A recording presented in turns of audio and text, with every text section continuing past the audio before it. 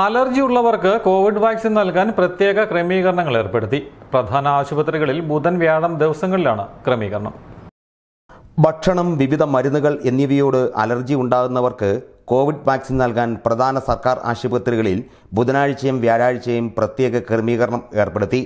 Medical college ആശുപത്രി കോട്ടയം പാല Changanassery general ആശുപത്രികൾ എന്നിവിടങ്ങളിലാണ് സൗകര്യം.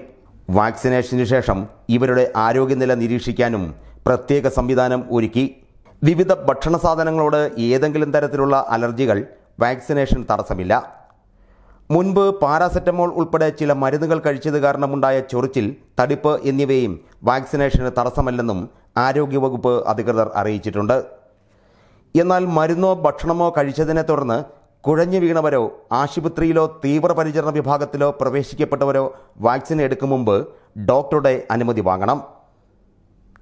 Star vision news Pala.